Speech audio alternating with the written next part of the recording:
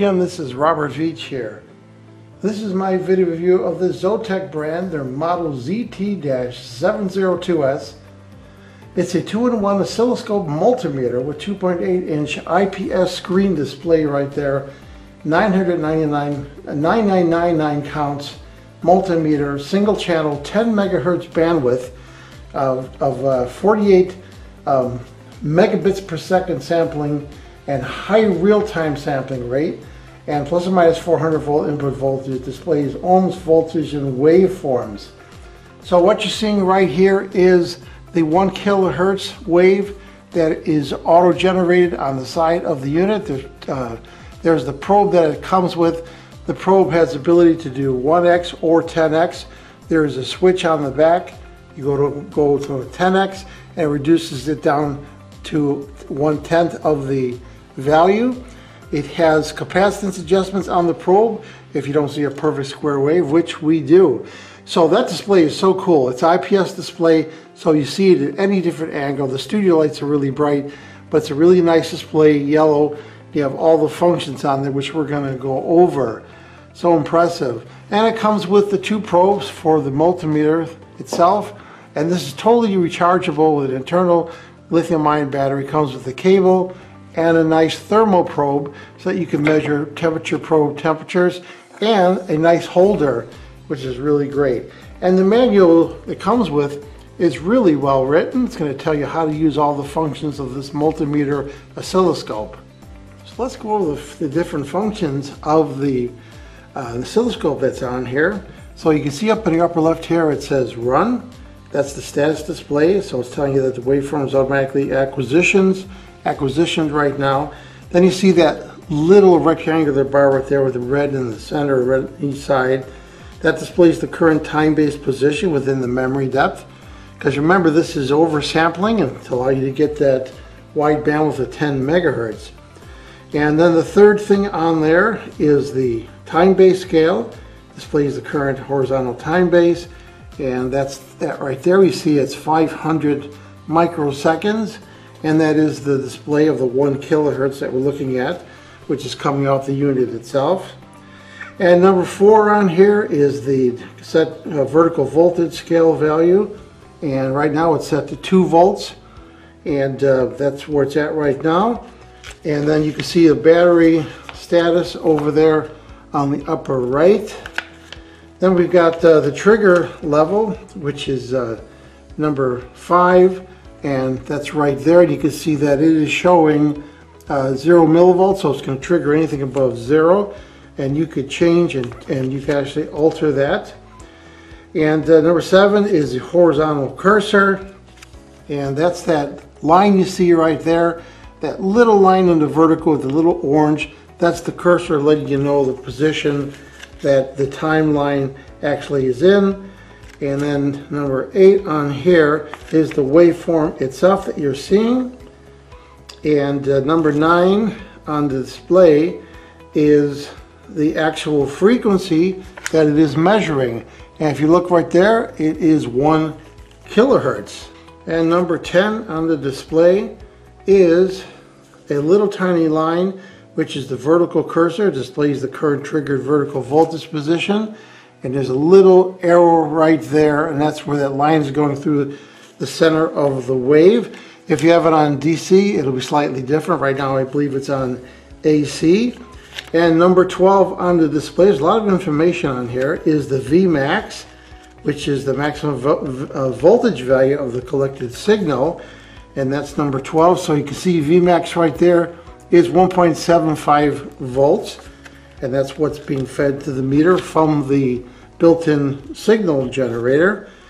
And number 13 is the voltage time base, and you can see that uh, it's display voltage time base. You've got move right there, trigger, and DC or AC. You can see it's on AC right now. So you can move these functions. See how it has F1, F1, you can move, then you go to F2. See how you can go to move right there then we can actually move the waveform up and down. F3, we have the trigger, and you could change the trigger position that it's going to be triggering at. Then you have F4, whether it's AC or DC, And if you could put AC, it's triggering or DC. Now see how the trigger went away because it's no longer the right value to trigger. So I put AC back on. So there's a lot of functionality in this display of everything you're seeing right here. Now if you go to mode right here, hit this button right here, let's move the camera a little bit, mode, and now it goes to multimeter. And there you have the multimeter, then you have these function buttons have different meanings across the scale right there. We're going to be testing those. And notice that's totally digital scale. It's nothing uh, analog looking about it. It's, it's really high-tech looking that display. But look at that. I can move it around. It, anybody that's in any angle can view that IPS screen on there. So let's test some of the functions on there. So I have the probes connected right now to the multimeter. And if you hit F1, you can see that you got true RMS, which is really nice. You can measure the signal RMS value. You have DC, and then you have um, AC also. So if we go to DC, just an example, I have a uh, lithium ion battery right here. Let's just put the negative on the negative, positive on the positive, and it shows 4.003. So what's really cool is you see the needle move and it gives you extra value. So it gives you that analog feeling even though it's totally digital. Now we'll test the voltage, uh, the RMS and on my lab. But uh, let's move on right here. You go to function two and you have um, resistance measurements. Let's just try a uh, resistance box right here. So I got a resistance box right here and I have it on the low end. So you see it's 15.4 ohms, that is correct. And if I go to medium, shows 2.18, that is correct.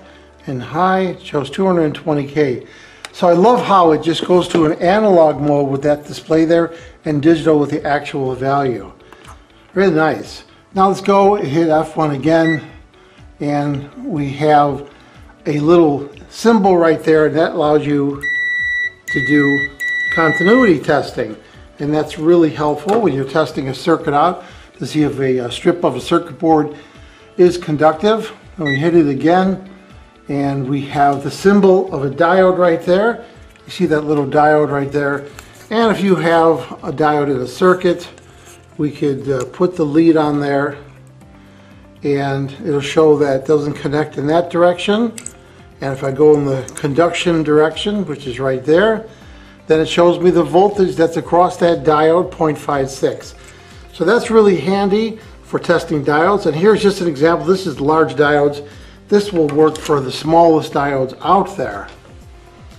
Now you go to F3 and here is current and uh, you have a choice of milliamp and you have AC current also which is nice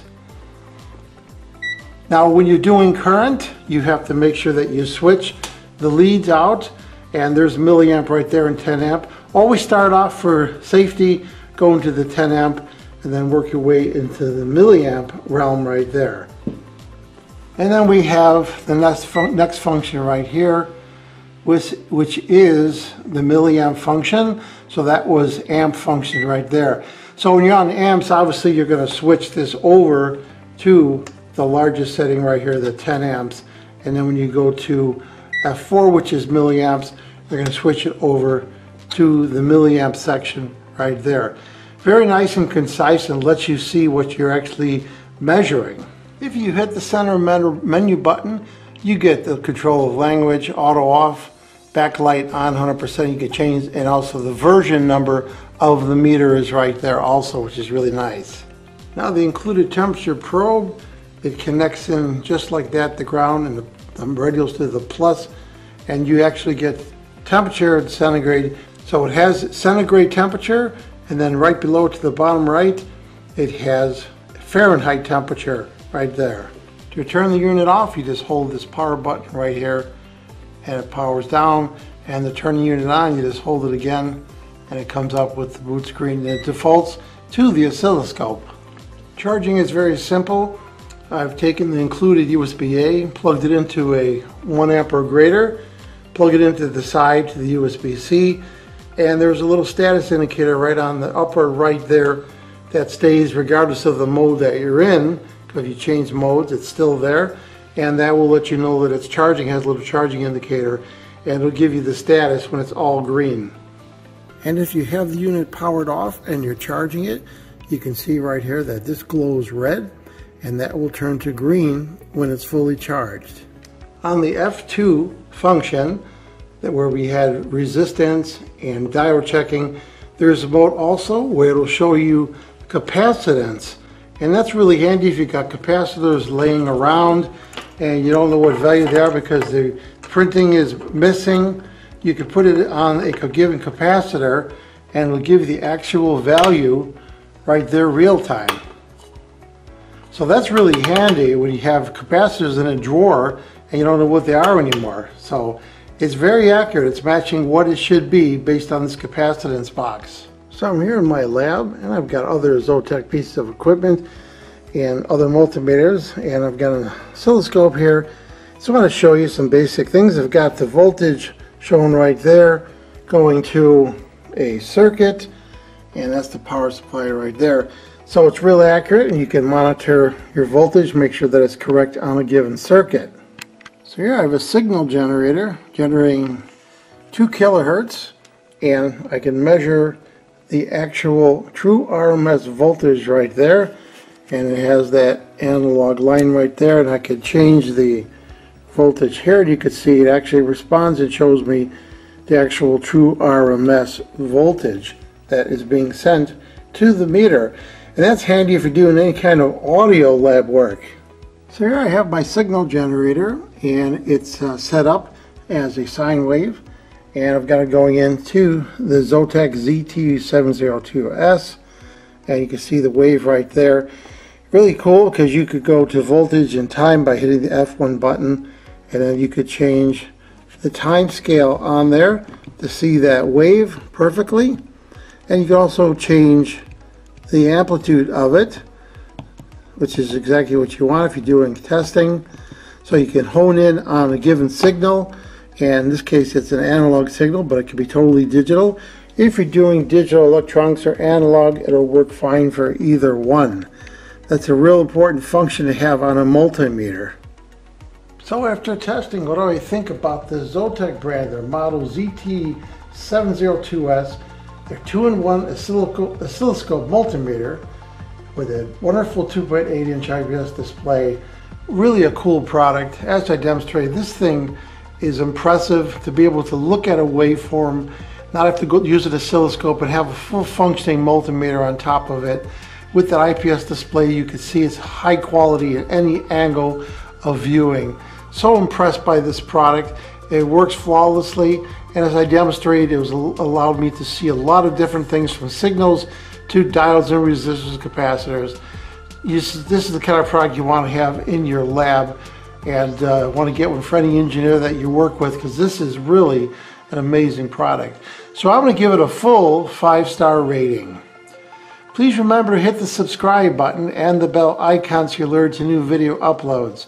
And if you thought this review was helpful, please hit the like button. There'll be an ordering link in the information section of this video review. Please use that link when you order this product to help support this channel. I hope this video review helped you with your buying decision. Thank you for watching.